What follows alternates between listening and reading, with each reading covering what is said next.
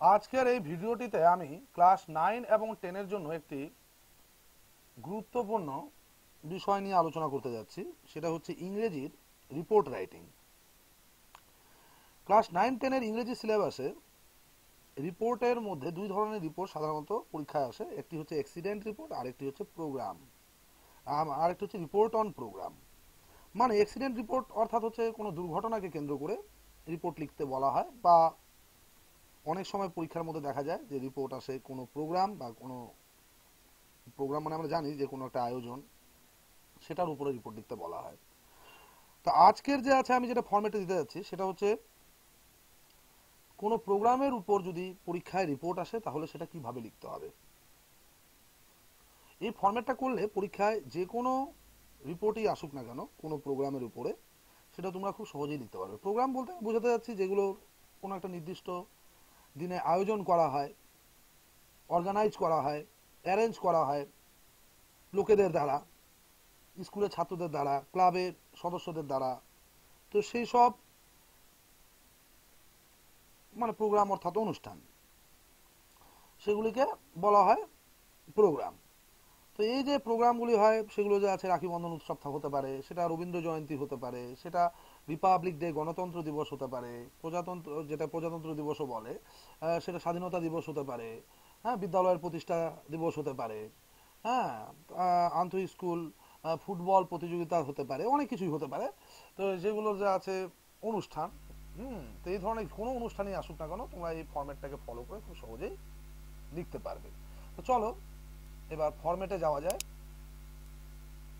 যে আমরা এখানে ফরম্যাটটা দেখতে পাচ্ছি আমরা ফরম্যাটটা এখানে দেখতে পাচ্ছি। তো দেখতে পাচ্ছ, ফরম্যাটের মধ্যে তোমরা দেখতে পাচ্ছ যে এখানে দুই ধরনের কালি ব্যবহার করা হয়েছে ফরম্যাটের মধ্যে। একটা হচ্ছে বেগুনি আর আরেকটা হচ্ছে কালো।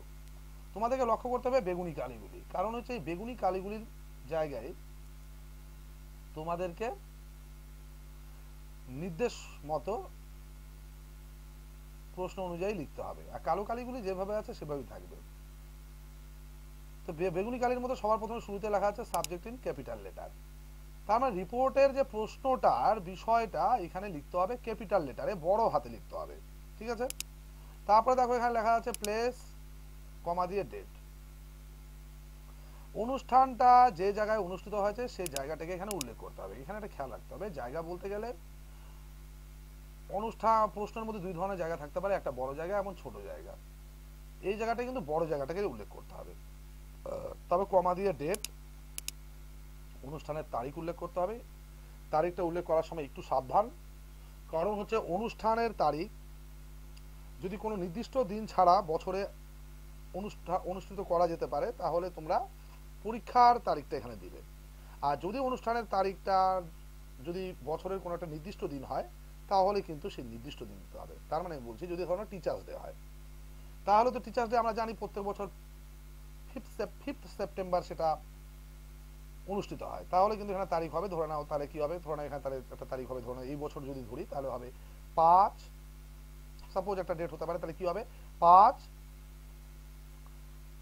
নয় দুই হাজার কুড়ি। তাই না? তাহলে fifth September two thousand twenty এখানে ডেট হবে। তো এখানে কিন্তু পরীক্ষার ডেট তখন হবে না। কারণ কি সেই অনুষ্ঠানটা তো ফিফথ সেপ্টেম্বরেই হবে। অন্য দিনে তো আর টিচার টিচার্স ডে হবে না। তো যদি ধরনের রিপাবলিক ডে হয়, তাহলে টোয়েন্টি জানুয়ারি টু হবে এখানে ডেট কিন্তু যদি এমন কিছু অনুষ্ঠান হয়, যেটা জন্য কোনো নির্দিষ্ট দিন স্থির নেই, নির্দিষ্ট দিন তার নেই বছরে, যে কোনো দিনে করা যেতে পারে, যেমন হচ্ছে ম্যাজিক শো যেমন হচ্ছে ফেয়ারওয়েল অনুষ্ঠান ফেয়ারওয়েল প্রোগ্রাম তো সেই সব ক্ষেত্রে তোমরা এখানে কি করবে? পরীক্ষার ডেটটা দিবে। এবার দেখো এখানে লেখা আছে এ আর এম সেটা বিষয় দেখে তোমাকে লিখতে হবে। যদি বিষয়ের প্রথম লেটারটা আমরা জানি, যদি ভাবেল হয়, তাহলে আমরা কি করব? ভাবেল সাউন্ড থাকলে সাউন্ড যদি তৈরি করে, তাহলে এন হবে। যদি কনসোনেন্ট সাউন্ড তৈরি করে, তাহলে এ হবে। এখানে তো আমাদের জানাই আছে অথবা নিচু ক্লাসে তোমরা শিখেছো ভালো মতো। কারণ এলা অনেক ছোট ক্লাসেই তোমরা শিখে নিয়েছো। ভাবেলের আগে এন হয় কনসোনেন্টের আগে এ হয়। তো বিষয় যদি ভাবেল দিয়ে শুরু হয়, তাহলে এন হবে কনসোনেন্ট দিয়ে শুরু হয়, তবে এ হবে। আবার সাবজেক্ট লেখা আছে, তার মানে এই ফাঁকা জায়গাটাতে বিষয়টা লিখতে হবে। ওয়াজ হেল্ড এট আবার দেখা যাচ্ছে, দেখো, এই ফাঁকা জায়গাতে স্মল প্লেস লিখতে বলেছে। কারণ কি, পরীক্ষার মধ্যে যদি দুটি জায়গা থাকে, একটি স্মল প্লেস আর একটি হচ্ছে বিগ প্লেস তার মানে যদি অনুষ্ঠানটির জন্য দুটি জায়গা উল্লেখ করা থাকে, একটি বড় জায়গা এবং এবং একটি ছোট জায়গা, তাহলে কি করবে? এই ফাঁকা জায়গাটিতে স্মল প্লেস লিখতে হবে। এই ফাঁকা জায়গাটিতে কি লিখতে হবে? স্মল প্লেস লিখতে হবে। আর এই এই ফাঁকা জায়গাটিতে লিখতে হবে বিগ প্লেস আর যদি পরীক্ষায় প্রশ্নের মধ্যে কেবলমাত্র একটি জায়গার কথা উল্লেখ করা থাকে, তাহলে কিন্তু তোমরা এই অ্যাড দিয়ে যে স্মল প্লেস আছে না, এই অংশটা দিবে না। ইন দিয়ে সেই জায়গাটা উল্লেখ করবে একটা জায়গা থাকলে, আবার বলছি, একটা জায়গা থাকলে ইন দিয়ে সেই জায়গাটা দিবে। আর যদি দুটি জায়গা থাকে, তাহলে অ্যাড দিয়ে ছোট জায়গা হবে আর ইন দিয়ে বড় জায়গা হবে। তারপর আবার বিষয়ের জায়গায় বিষয় লিখবে। বিষয়ের জায়গায় ফাঁকাতে বিষয় লিখবে। বিষয়ের জায়গায় ফাঁকাতে বিষয় লিখবে। বিষয়ের জায়গায় ফাঁকাতে বিষয় লিখবে। আবার বিষয়ের জায়গায়, এটা বেগুনি করতে আমি ভুলে গেছি। এখানে বিষয়ের জায়গায় এই ফাঁকাতে বিষয় লিখবে। আবার এখানে বিষয়ের জায়গায় ফাঁকাতে বিষয় লিখবে। আর কালো অংশগুলো, এবার দেখো অনেক জায়গায় বিষয় লেখা আছে, বিষয়ের জায়গায় ফাঁকাতে বিষয় লিখবে। এভাবে করে ফিল করে দিবে আর বাকি কালো অংশগুলি যেভাবে আছে সেভাবেই লিখে দিবে। আর কোনো অসুবিধা নেই, যে কোনো প্রোগ্রামই পরীক্ষায় আসুক না কেন, যদি তুমি এই ফরম্যাটটা তুলে দাও হ্যাঁ তাহলে তোমার নির্ভুল ভাবে, নির্ভুল এবং নির্ভুল তোমরা প্রশ্ন অনুযায়ী লিখতে পারবে। বিশেষ করে যারা গড় ছাত্র আছে, মাঝারি ছাত্র আছে, তাদের জন্য এই ফরম্যাটটা খুব ভালো। কারণ হচ্ছে তারা ইংরেজিতে কি করে? অনেক সময় খাতা যে আছে খালি ছেড়ে চলে আসে রাইটিং পরীক্ষায়, লিখতে পারে না নিজের থেকে বানিয়ে। তাদের জন্য খুব উপকারে লাগবে যদি ওরা এই ফরম্যাটটা মুখস্থ করে নেয়, কারণ পরীক্ষায় নোটিশ দুই ধরনের থাকে, তার মধ্যে অ্যাক্সিডেন্ট আর প্রোগ্রাম আমি অ্যাক্সিডেন্টের উপরেও একটা ভিডিও তৈরি করেছি, তোমরা দেখে নিও। তো অ্যাক্সিডেন্ট আর প্রোগ্রাম এই দুটি ফরম্যাট যদি, তোমরা দুটো ফরম্যাট যদি করে নাও অ্যাক্সিডেন্টের জন্য আরেকটা আলাদা ভিডিও করা আছে। এটা আছে প্রোগ্রামের উপরে। তো এই দুটি ভিডিও করে নিলে রিপোর্ট পরীক্ষায় যাই আসুক না কেন তোমরা লিখতে পারবে। কারণ কি, কারণ হচ্ছে যে রিপোর্ট এই দুটির মধ্যেই কোনো একটা থাকে। হয়তো যদি রিপোর্ট পরীক্ষা আসলো, তবে এই দুটোর মধ্যেই কোনো একটা থাকে। হয়তো সেটা প্রোগ্রাম থাকবে কোনো একটা অনুষ্ঠানের উপরে, না তো কোনো কোনো প্রবলেম বা সমস্যার উপরে থাকবে। তো এই এইভাবে তুমি দেখছ আজকের যেহেতু আলোচনা হচ্ছে এটা প্রোগ্রাম নিয়ে, অনুষ্ঠান নিয়ে, তাহলে এই ফরম্যাটটাকে অনুসরণ করে তোমরা যে কোনো অনুষ্ঠান পরীক্ষায় লিখতে পারবে। তো যাই হোক, আমি তো এটা মৌখিকভাবে তোমাদেরকে বোঝালাম কীভাবে করতে হবে। এখন আমি তোমাদেরকে প্র্যাকটিক্যালি এই ফরম্যাটটাকে ফলো করে কীভাবে অ্যান্সার করতে হবে পরীক্ষায় প্রশ্ন আসলে সেটা আমি দেখাবো। দেখো, এখানে একটা উদাহরণ দিয়ে দিচ্ছি আমি। এক্সাম্পল অন অ্যাবভ ফরম্যাট উপযুক্ত যে আছে ফরম্যাটটাকে ফলো করে আমি একটা উদাহরণ দিয়েছি। সবার প্রথমে দেখো যে প্রশ্নটা আছে। এ ধরনের যে পরীক্ষায় এই- প্রশ্নটা এসেছে। যে write report on an inter district football competition held in your town টাউনের কথা বলেছে।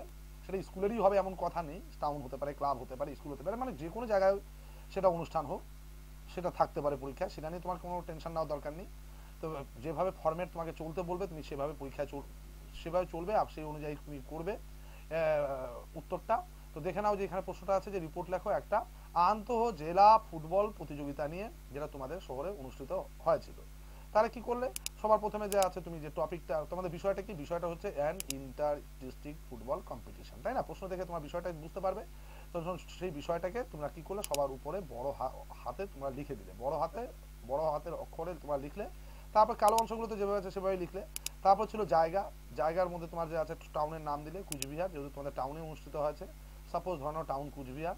তারপরে তারিখ, এটা যেদিন ভিডিওটা তৈরি করা হয়েছে, সেদিনকার তারিখটা এখানে দেওয়া হয়েছে। এখানে তারিখটা দিয়ে দিলে তোমরা তিন জুন দুই হাজার কুড়ি। তার মানে যেহেতু কেন এটা তিন জুন দুই হাজার কুড়ি দেওয়া হলো, কারণ হচ্ছে যে এই যে বিষয়টা আছে ইন্টার ডিস্ট্রিক্ট ফুটবল কম্পিটিশন একটি আন্তঃ ডিস্ট্রিক্ট ফুটবল প্রতিযোগিতা, সেটা তো, সেটার কোনো নির্দিষ্ট তারিখ তো বছরে থাকতে পারে না। সেটা যে কোনো তারিখেই সেটা অনুষ্ঠিত অনুষ্ঠিত করা যেতে পারে। তো সেই জন্য আমি যেদিন এটা ভিডিওটি তৈরি করেছি, সেদিনকার ডেটটি এখানে দিয়ে দিয়েছি, তিন জুন দুই হাজার কুড়ি। তো তোমরাও একটা তাই করবে, পরীক্ষায় যে আছে পরীক্ষার যে তারিখ আছে, এখানে তোমরা তুলে দিবে, যেদিন পরীক্ষা থাকবে ইংরেজি, সেদিনকার তারিখ তোমরা এখানে দিয়ে দিবে।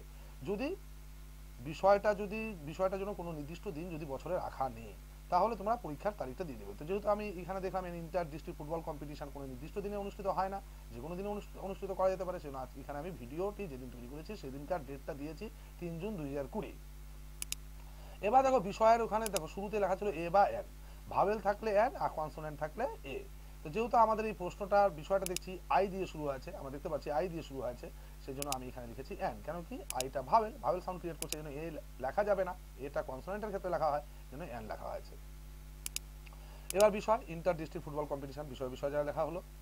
এবার ফরম্যাটের মধ্যে ছিল, দেখো ফরম্যাটের মধ্যে তোমরা দেখেছ যে এখানে অ্যাটের পরে ছিল ছোট জায়গা আর ইনের পরে ছিল বড় জায়গা। তোমরা দেখে নিতে পারো ফরম্যাটে আবার দেখো ফরম্যাটে লেখা আছে অ্যাটের পরে ছোট জায়গা আর ইনের পরে আছে বড় জায়গা। তো ঠিক আমি তাই করেছি এখানে। দেখো, এটার পরে ছোট জায়গা কুচবিহার। আর কুচবিহার জেলাটি অন্তর্ভুক্ত পশ্চিমবাংলার অধীন, সেজন্য এখানে আমি ওয়েস্ট বেঙ্গল দিয়ে দিয়েছি। যদিও প্রশ্নের মধ্যে ওয়েস্ট বেঙ্গল কথাটা উল্লেখ ছিল না, খালি ইনিওর টাউন লেখা ছিল। তো তুমি যে টাউনে থাকো, সে সেই টাউনটা হচ্ছে কুচবিহার। আর এই টাউনটি কোথায়, কোন রাজ্যে, কোথায় আছে, সেটা হচ্ছে পশ্চিমবাংলার অন্তর্ভুক্ত, এই জন্য ইনের পরে বড় জায়গা ওয়েস্ট বেঙ্গল দিয়ে দেওয়া আছে এরপরে দেখো ফরম্যাটের মধ্যে আর যে সব সবুজ জায়গাগুলি ছিল, সব জায়গাতেই লেখা ছিল বিষয় বিষয় বিষয় সাবজেক্ট সাবজেক্ট সাবজেক্ট এই জন্য সব জায়গাতেই আমরা এই ফাঁকা জায়গাগুলোতে সাবজেক্ট লিখে দিয়েছি। Inter district football competition inter district football competition inter district football competition inter district football competition তাহলে দেখো যে খুবই সহজ ইন্টার ডিস্ট্রিক্ট ফুটবল কম্পিটিশন খুবই সহজ, খুব সহজ এই ফরম্যাটটা এই ফরম্যাটটা যদি তোমরা করে নাও, খুব সহজেই পরীক্ষায় যে কোনো প্রোগ্রামিং আসুক না কেন, যে কোনোই অনুষ্ঠান আসুক না কেন, এই ফরম্যাটটা দিয়ে তোমরা খুব সহজেই তোমরা এই ফরম্যাটটা দিয়ে করতে পারবে। এই জন্য এই ফরম্যাটটাকে তোমরা খাতায় ভালো মতো হ্যাঁ ভালো মতো তুলে নিও, যাতে কোনো ধরনের বানান ভুল না হয়। আর মুখস্থ করে নিও, পরীক্ষায় যে কোনো মানে অ্যাক্সিডেন্ট সরি যে কোনো প্রোগ্রামের উপর রিপোর্ট আসুক না কেন, তোমরা এই ফরম্যাটটাকে ফলো করে খুব সহজেই লিখতে পারবে। কোনো ভয় নেই, একদম দ্বিধাহীনভাবে তোমরা লিখতে পারবে আর ভালো নাম্বারও পাবে। মাঝারি মানের ছাত্র এবং যারা দুর্বল ছাত্র, তাদের জন্য তো খুবই উপকারে লাগবে এই ফর্মেটটা তোমার ফরম্যাটটা ভালো মতো খাতায় তুলে নিও আর মুখস্থ করে নিও। আর ভিডিওটি বুঝতে না পারলে দুই চারবার দেখে নিও, তোমরা তোমাদের কনসেপ্ট বা ধারণাটা ক্লিয়ার হবে।